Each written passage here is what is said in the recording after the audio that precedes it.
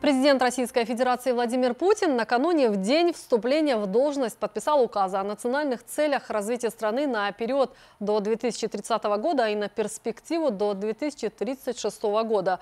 В документе определены такие национальные цели развития Российской Федерации, как сохранение населения, укрепление здоровья и повышение благополучия людей, поддержка семьи. Кроме того, одним из главных приоритетов является реализация потенциала каждого человека, развитие его талантов, воспитание патриотичности этичной и социально ответственной личности. Также комфортная и безопасная среда для жизни, экологическое благополучие, устойчивая и динамичная экономика, технологическое лидерство и цифровая трансформация государственного и муниципального управления экономики и социальной сферы.